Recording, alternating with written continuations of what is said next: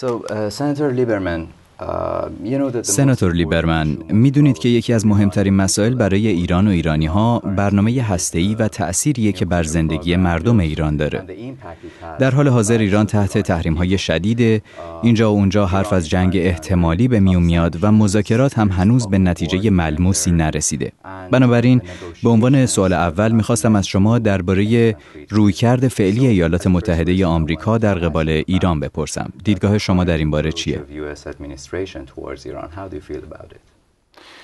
Yeah, well, I'm supportive of the uh, current approach of the United States administration toward من از رویکرد کنونی دولت ایالات متحده آمریکا در برابر برنامه تولید تسلیحات هسته‌ای جمهوری اسلامی ایران پشتیبانی می‌کنم. به این معنا که فکر می‌کنیم بر پایه اسناد و مدارک نه تنها برای دولت ایالات متحده بلکه برای آژانس های سازمان ملل متحد هم مسجل شده که رژیم ایران در حال تولید بسیاری از ظرفیت ها و ادوات لازم برای دستیابی به سلاح اتمیه.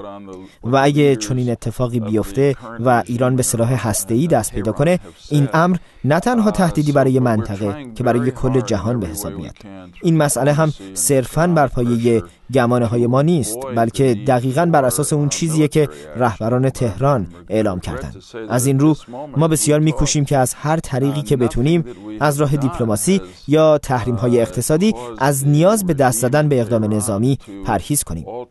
اما متاسفم که بگم در این لحظه که با هم حرف می‌زنیم هیچ کدوم از اقداماتی که ما انجام دادیم به هیچ وجه حکومت تهران رو مجاب به تغییر مسیر در مسئله برنامه هسته‌ای خودش نکرده. به این دلیل رفته رفته به نقطه نزدیک میشیم که فقط دو گزینه در برابر نه فقط آمریکا و اسرائیل بلکه کشورهای دیگه خواهیم داشت. یا دست روی دست بذاریم و اجازه بدیم جمهوری اسلامی ایران به یک قدرت هسته‌ای تبدیل بشه ثبات منطقه رو برهم بزنه و در خاورمیانه مسابقه تسلیحات اتمی راه بندازه یا اینکه مجبور خواهیم شد با توسل به اقدام نظامی برنامه هسته‌ای ایران رو نابود کنیم یا به تأخیر بندازیم. امیدوارم که به اونجا نرسیم. هیچ کس در ایالات متحده آمریکا تمایل نداره که به تأسیسات هسته‌ای ایران حمله کنه. اما در طول تاریخ کشور ما صلح دوستی آمریکا گاهی به اشتباه به نشانه ضعف ما تعبیر شده. تو این مورد به باور من اعضای هر دو حزب سیاسی در ایالات متحده آمریکا و مردم آمریکا خواهان صلح با ایران هستند. اما اگر ایران از طریق تغییر برنامه هسته‌ای خودش در قبال انتظار جهانیان پاسخی نده احتمال اقدام نظامی ایالات متحده آمریکا بالاست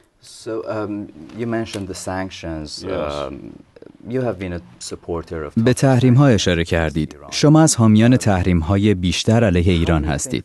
فکر می کنید چطور امکان داره که این تحریم ها راه و روش جمهوری اسلامی رو تغییر بده؟ مواردی رو در گذشته از حکومت هایی داشتیم که تحت تحریم قرار گرفتن مثل کره شمالی، عراق یا کوبا. اما این اقدام منجر به تغییر منش این حکومت ها نشده. فکر می‌کنید تحریم هایی از این دست علیه ایران تا چه میزان می‌تونن موثر باشن؟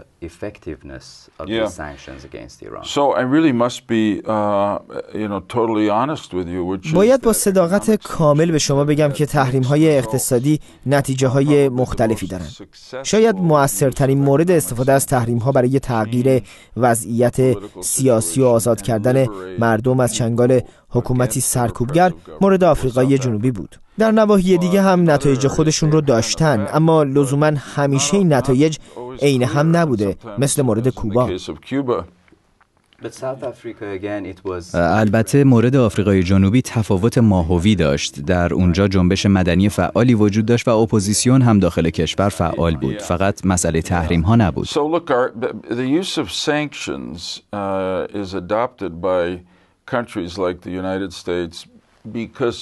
ببینید استفاده از تحریم ها توسط کشورهایی از جمله ایالات متحده با این هدف دنبال میشه که دیگه نمی‌خوایم. مانند گذشته یک راست به سراغ جنگ و رویارویی نظامی با کشوری مثل ایران بریم به این دلیل که در پی ساخت سلاح اتمیه می‌دونین ترس زیادی از ایران دارای سلاح اتمی در جهان و نه تنها ایالات متحده و اسرائیل وجود داره. در سراسر جهان عرب و البته در اروپا همین نگرانی هست.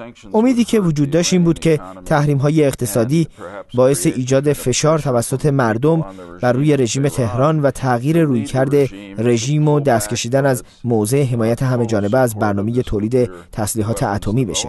متاسفم که در اون بخش نتیجه مورد نظر خودمون رو شاهد نبودیم و این مایه ناراحتی منه که مردم عادی ایران که دوست ما به شمار میرن زیر فشار این تحریم ها رنج می‌کشن. به همین خاطر بود که چند سال پیش تعدادی از ما نوع جدیدی از تحریم ها رو پیشنهاد کردیم و به طور مستقیم افراد درون نظام جمهوری اسلامی ایران کسانی که ناقض حقوق بشر بودن رو هدف تحریم قرار دادیم. کلیت این اقدامات نباید فقط حول محور تهدید جهان به وسیله برنامه اتمی ایران باشه. این اقدام ها باید ناظر به این حقیقت هم باشه که رژیم کنونی حاکم در تهران یک نظام سرکوبگر و تمامیت خواهه. به این ترتیب ایالات متحده برخی از این افراد رو مورد تحریم قرار داده و با مسدود کردن دارایی هاشون مسافرت خارج از کشور رو دشوارتر کرده. بی پرده میگم که اتحادیه اروپا افراد بیشتری از این گروه رو مشمول تحریم های خودش کرده که برای من باعث ناراحتیه in the Iranian uh, government than the U.S. has, which I'm very upset about, and I well, hope our administration will do that. درباره همین تحریم های مورد بحث با توجه به صحبت های مردم حرف شما درست به نظر میاد. ما توی صفحه فیسبوک رادیو فردا از مخاطبانمون خواستیم که سوال هاشون رو از شما مطرح بکنن و اکثریت اونها ده ها نفر گفتن که تحریم ها مردم عادی رو هدف قرار دادن و روی زندگیشون تأثیر سو داشته و در عمل تأثیری بر روی حکومت ایران نداشته. درباره اون دسته از تحریم ها علیه اشخاصی که از اونها به عنوان ناقضان حقوق بشر اسم برده میشه بسیاری از منتقدان جمهوری اسلامی از این قبیل تحریم ها خوشحال هستند و میگن حرکت بسیار مثبتیه. اما در این بین دیگرانی هم هستند که این تحریم ها رو مورد انتقاد قرار میدن و میگن که این اقدام فقط یک ژست سیاسیه چون بیشتر افرادی که تحریم شدن در غرب هیچ گونه دارایی ندارند و از همین رو بعضی ها مؤثر بودن این تحریم ها رو زیر سوال می‌برند.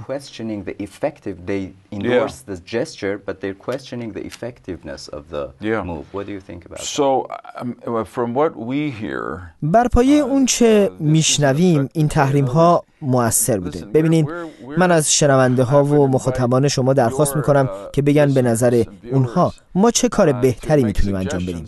قبلا هم گفتم که برای من دردآوره که می‌بینیم بعضی از تحریم های وسیعتر منجر به رنج کشیدن مردم عادی ایران شده. برای اینکه با هدف آزادی مردم ایرانه که ما تلاش می‌کنیم حکومتشون رو متوقف کنیم و این رژیم سرکوبگر رو تغییر بدیم. بخشی از دلیل اینکه ما ناقضان حقوق بشر در حاکمیت رو هدف قرار دادیم همین مسئله بوده. بعضی از این افراد دارایی هایی در کشورهای خارجی دارند و مایل به سفر به خارج از کشور هستند. اگر نه به ایالات متحده آمریکا و درون کشور ما قصد مسافرت به اروپا رو دارند اروپایی ها هم با شدت و جدیت بسیار در این بخش ایستادن.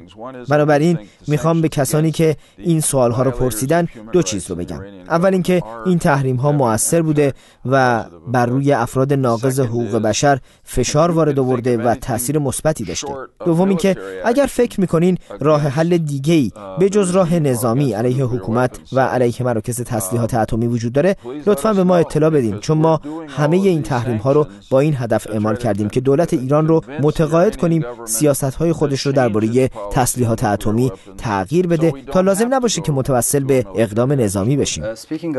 حالا که صحبت از اقدام نظامی به میون اومد سناتور لیبرمن در فوریه سال 2012 شما یکی از ارائه کنندگان قطعنامه‌ای در سنا بودید که خواستار اقدام عملی علیه ایران برای عینا نقل می‌کنم پیشگیری از پیشرفت تلاش ایران برای دستیابی به توان ساخت سلاح‌های هسته‌ای و رد کردن هر گونه سیاست مبتنی بر مماشات و کنترل ایران دارای توان هسته‌ای بود. همونطور که می‌دونید تفاسیر مختلفی درباره استفاده از عبارت توان هسته‌ای مطرح شده. برای مثال سرهنگ لارنس ویلکرسون رئیس سابق دفتر کولین پاول وزیر خارجه پیشین ایالات متحده طی گفتگویی در FCNL گفت که این قطعنامه شبیه همون متنیه که ما رو به جنگ عراق کشوند و می‌تونه پیشنویس طرح حمله به ایران محسوب بشه و در واقع گامیه که به شکلی نچندان پوشیده و مخفیانه در راستای موجه کردن جنگ برداشته شده. تفسیر خود شما از عبارت توان هسته ایران چیه؟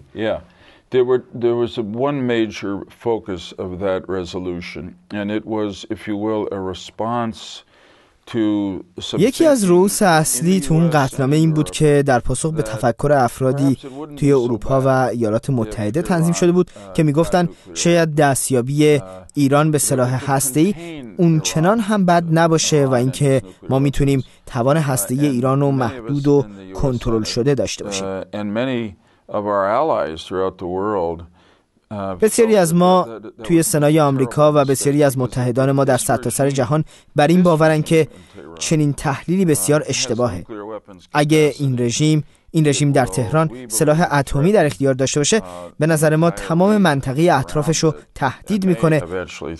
اما مفهوم عبارت توان هسته چیه؟ این عبارت مبهم به نظر میاد.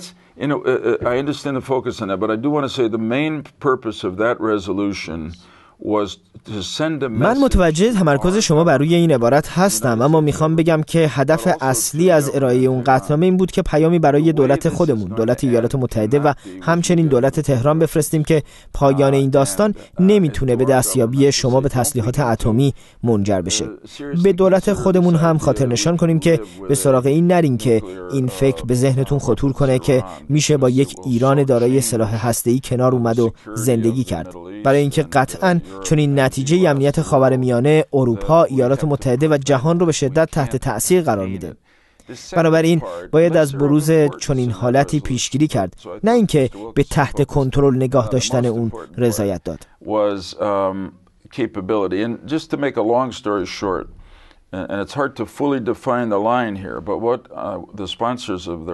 بخش دومی که توی قطنامه یاد شده اهمیت ثانویه داشت که روی اون انگوش گذاشته شده.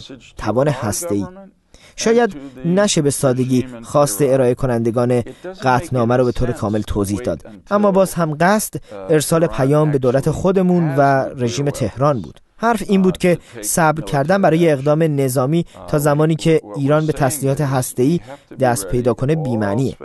جان کلام ما این بود که باید آمادگی اونو داشته باشیم که اگر باقی گزینه ها با شکست مواجه شد تحریم های اقتصادی دیپلماسی غیره نتیجه نداد به محض اینکه ایران توان ساخت سلاح ای رو به دست آورد اقدام کنیم. یک احتمال دیگه هم این وسط وجود داره که بر اساس اعلام نظر آژانس بین‌المللی انرژی اتمی ایران هر روزه در حال ساخت سانتریفیوژ های جدید، غنیسازی مقادیر بیشتری سوخت هسته‌ای و آماده شدنه. در کل این جنبندی وجود داره که حکومت ایران همکنون به اندازه کافی سوخت غنی شده برای تولید بمب اتمی رو در اختیار داره. تعدادی نسبتا کم اما به هر روی سلاح هسته‌ای دیگه حرف ما به حکومت اینه که فکر نکنین صبر می‌کنیم تا در عمل به سلاح اتمی دست پیدا کنین و بر سر میز مذاکره ننشینید. غرب هم پیشنهادهای خودش رو به ایران ارائه داده. اگر ایران به دنبال دستیابی به توان هسته‌ای غیر نظامیه می‌تونه این امکان رو فراهم کنه. تحریم ها لغو بشن تجارت بین کشورهامون برقرار بشه اینها همه هم به نفع مردم ایرانه و هم به نفع مردم آمریکا. Uh, come into the community of nations, op- uh, get rid of the sanctions, uh, open up trade between our countries. I mean, that's what's in the interest of the people of می‌دونید که واکنش های متفاوت و گسترده ای در قبال گزینه نظامی در ایران وجود داره. بعضی از نظرات و پرسش های مخاطبان رادیو فردا رو از فیسبوکمون براتون می‌خونم.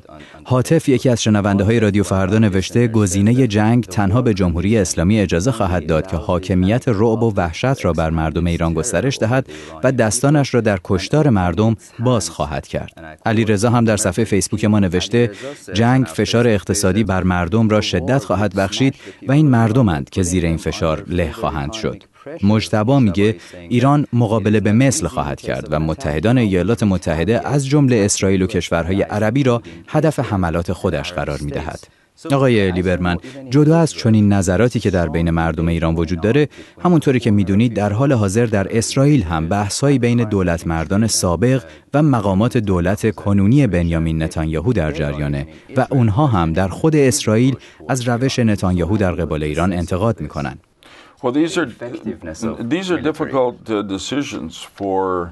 Uh,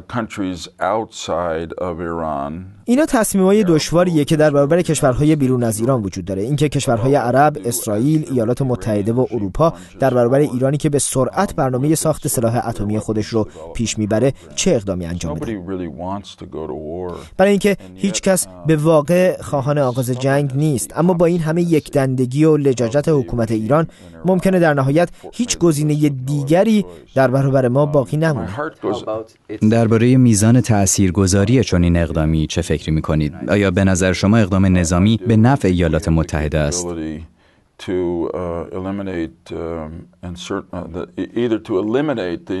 بله من فکر می‌کنم ما توان این رو داریم که برنامه تسلیحات هسته‌ای ایران رو نابود کنیم یا چنان اون رو از کار بندازیم که تا سالها قابلیت راه اندازی مجدد رو نداشته باشه و در این مدت امیدوار باشیم و دعا کنیم که رژیم تغییر کنه و یه رژیم دموکراتیک و دوستانه تری سر کار بیاد. واضحه که مردم ایالات متحده هم مایلن با مردم ایران روابط دوستانه ای داشته باشن و دو دولت هم با هم همکاری کنن اما اگه اقدام نظامی انجام بشه توسط هر یک از طرفهای خارج از ایران علیه تأسیسات اتمی ایران فقط به این خاطر که حکومت ایران برای ما گزینه دیگه ای رو باقی نذاشته و امیدوارم که کار به اونجا نکشه. به خوبی می‌دونم که در صورت بروز چنین وضعیتی در کوتاه مدت ممکنه شرایط برای مردم ایران دشوارتر هم بشه.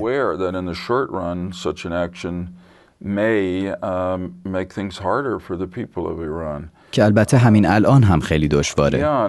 بله می‌دونم. برای همین هم میگم که امیدواریم و دعا می‌کنیم. در جریان بهار عربی تغییرات زیادی رو تو جهان شاهد بودیم که مردمی که برای مدتهای طولانی تحت سرکوب قرار داشتن الان به حقوق و آزادی هاشون رسیدن و رفته رفته از چشمانداز زندگی بهتری هم بهره مند میشن. از یک منظر یکی از سرچشمه های این حرکت جهانی در ایران و پس از انتخابات ریاست جمهوری شکل گرفت که از دید من انتخاباتی تقلب آمیز بود که در ماه جوان سال 2009 میلادی شاهدش بودیم و جنبش سبز در ایران متولد شد. امیدوارم و دعا می کنم که جنبش سبز همون فرصت های زندگی بهتر و آزادتر رو برای مردم ایران فراهم کنه که مردمان بسیاری ظرف یک سال و نیم گذشته در منطقه و در جهان عرب برای اون ایستادند و طلب کردند.